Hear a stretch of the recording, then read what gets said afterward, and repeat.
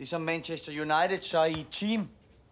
Og spillerne kender hinanden. Det er jo nogle, nogle, nogle unge, der bor i en forstad, hvor der måske ikke er sket så meget, så man har haft nogle faste holdepunkter. For eksempel det med fodbold har, har, har holdt Mikkel og Bo og Jacob sammen på den måde, ikke? Mm. Øh, og været et omdrejningspunkt og, og noget, man sad og snakkede om altid, til at man så kommer i første G, hvor, øh, hvor man møder en hel masse nye mennesker, og der sker en hel masse ting.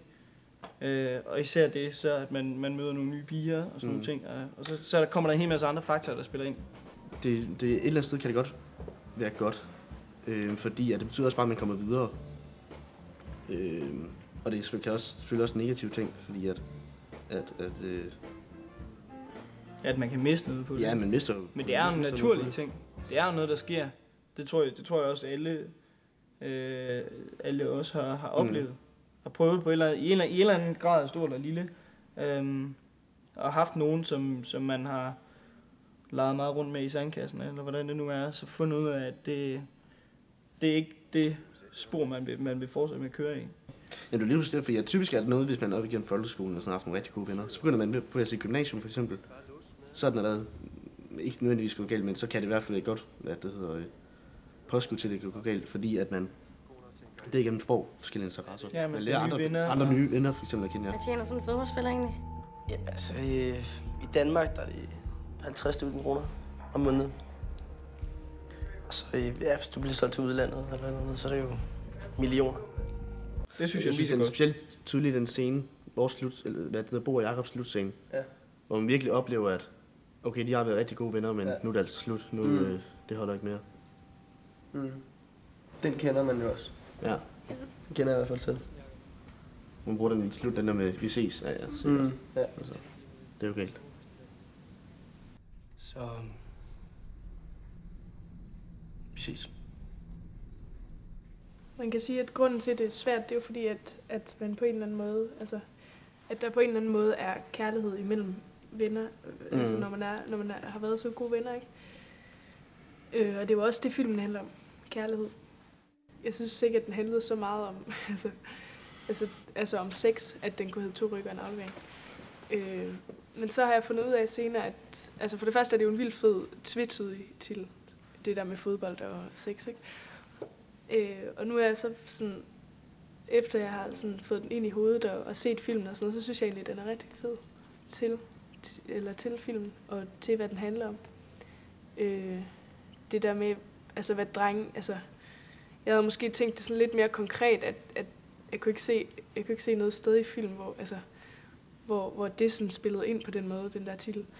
Øh, Det er mest, Eller jo, mest, kan mest, ja, okay, men det er mest, tank, det er mest tankegangen. Ja, ja altså, det der med, drengenes tankegang, det der med, altså, også som vi sagde før, det der med, at du vil hurtigt frem, ikke? eller at Mm. Jacob vil hurtigt frem. Må jeg være her? Papa, kom. Filmen slutter jo, som I vil se på DVD'en, på med at, med at hovedpersonen øh, og øh, Jakob og den kvindelige hovedperson endelig gør det. Går i seng sammen. Og det, øh, det står der jo øh, i manuskriptet også, at, at, de, øh, at de elsker. Og så er det selvfølgelig det store spørgsmål, ikke? Hvordan, hvordan pokker skal man, skal man lave det, ikke? Og det er selvfølgelig der, man kan... Øhm, det er der, man kommer ind på en, en balancegang med sine skuespillere, fordi at man kan jo ikke bare lave det rigtigt. Altså, det holder jo ikke. Øh, et eller andet sted kunne man principielt måske godt have lyst til det, men det holder ikke. Altså, det, det er ikke måden at gøre det på. Øh, så man er jo nødt til at, til at snyde, ikke? Og, øh, problemet er så, at i langt de fleste film, i særdeleshed amerikanske film, kan man jo se, at det, at det er snyd, ikke? Og det her var ligesom, det her skulle være mere end bare, at nu går de i seng sammen. Det her skulle være hele det film havde bygget op imod. Det skulle være at blive mand for hovedpersonen. Og det skulle være de her to mennesker, som har været så meget igennem, har haft så mange misforståelser med hinanden, har haft så meget krise i deres kærlighed, endelig når hinanden. Ikke? Så det kunne ikke bare være sådan, ligesom i amerikanske film, hvor kys, kys, og så går det, øh, og nogle bryster, og så, og så er det det. Altså, det holder bare ikke. Det, var, det kunne ikke være så udvendigt, det nødt til at være indvendigt. Øh, så det var selvfølgelig en scene, som, skulle, øh, som, som var svær. Øh, det vigtige for mig, det var jo bare, at de turde give sig hen til hinanden. At de ikke havde nogen forbehold for hinanden. Fordi at man har ikke forbehold for hinanden, når man endelig elsker. Og det var vigtigt for spillerne at få nogle, nogle grænser. Der er to scener, jeg synes, der var ret svært at lave. Øhm, og det er to scener, der egentlig minder til dels om hinanden, men så alligevel øh, er så vidt forskellige, fordi at den ene, det var den, hvor slutscenen, hvor øh, Jakob og Mathilde går i seng med hinanden. Og den anden, det er den, hvor Jakob er sammen med Mikkels lille søster. Øhm, den med Mathilde, hvor vi går i seng med hinanden. Vil du være den, den er så intim, og det, den grænse skulle man bryde på en eller anden måde. Altså så man kunne være vel tilpas og kunne se ud, som om man virkelig nød det. Muligt. Men omvendt kan man så også sige, at den er så, så teknisk, at man har hele tiden en, en lydmand og en kameramand og en instruktør, som sidder lige ved siden af.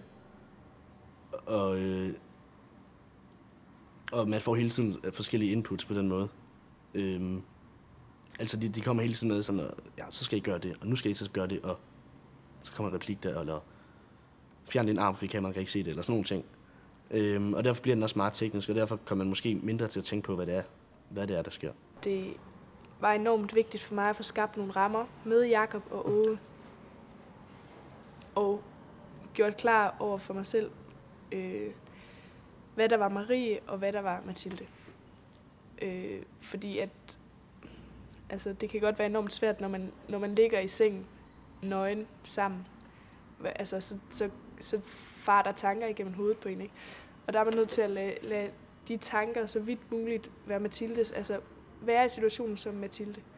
Og så når øh, instruktøren siger tak, så, så er man bare Jakob og Marie, og så lidt tøj på, og så kan man altså snakke. Og det er enormt vigtigt at, at snakke om det. Altså, det var vigtigt for mig, også bare mig og Jakob, at vi, også at vi kunne sidde sammen og sige, åh, hey, ej, det, altså sådan lidt uden ove, sådan, ej, det er sådan lidt træls, eller sådan, åh, nu skal jeg have taget igen, og sådan. Det var dejligt, at der kom den der sådan, sådan at, vi, at vi havde den der tæthed, eller at, altså, at vi også kunne få lidt humor ind i det og sådan noget, ikke? Jeg tror, at sex for drenge er sådan noget med, at når de er unge, at, at det er sådan noget, der skal fandme prøves. Det skal, det skal prøves, og det snakkes også om hele tiden. jo. Ja. Og det er den der spænding, det er det mystiske, der er interessant. Øh, og de, altså, nogens venner, eller ens venner, har prøvet det. Øh, og ah, det er det vildeste, vildeste, mand. Og helt sikkert, okay, jamen altså, selvfølgelig er det det, altså. Det har der også, eller... Jeg, jeg var, eller... Ja, jeg kan godt til mig.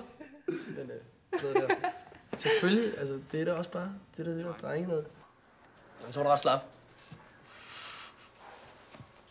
Og det her, det er helt enig. Og tør. Vi kommer cyklerne fra hver sin side. Det er Jørgen, der er der. at over for de andre drengevenner og sådan noget, ikke, der, der er der meget den der attitude med, hold kæft, man, jeg knæpper din meget helt lidt sindssygt over, ikke? Lidt macho. Ja, lidt, lidt macho, og det, det er ligesom, man skal helst, man skal helst alligevel, selvom man først bliver buksemyndig, når man er 15, så skal man helst have prøvet det inden, ikke? Sådan, sådan går der lidt kutumen for drenge, ikke? Hvor, hvor, men, men jeg tror stadigvæk, at det så at have sex, øhm, hvis man så som dreng har gået rundt og, og, og pralet helt vildt meget med, at nu havde man fået den her kæreste, og man skulle hjem og have sex og sådan nogle ting, så tror jeg stadigvæk, at, at det, der er jo det der mystiske moment i det, og, og, og det der helt vildt dejlige og intime.